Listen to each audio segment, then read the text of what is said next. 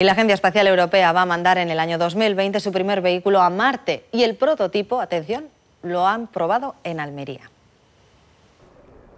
Un vehículo como este será lanzado al espacio en el verano de 2020 con destino a Marte en una misión de la Agencia Espacial Europea y la rusa Roscosmos. Durante 15 días se han realizado pruebas en tiempo real con el prototipo y en conexión con el centro de comunicaciones de la misión, que está en Inglaterra. La gran novedad de ExoMar es que por primera vez se podrá perforar la superficie marciana hasta una profundidad de 2 metros.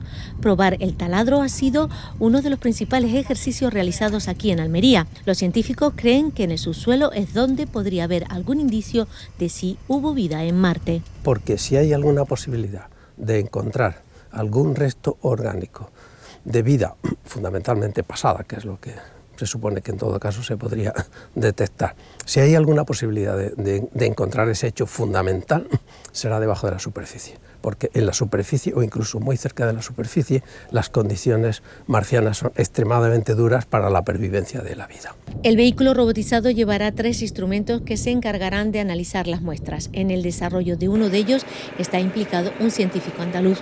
Este ensayo en Almería ha servido para que ingenieros y científicos de la Agencia Espacial Europea y Airbus, encargados de la construcción del rover, hayan podido comprobar que todo funciona perfectamente antes del lanzamiento.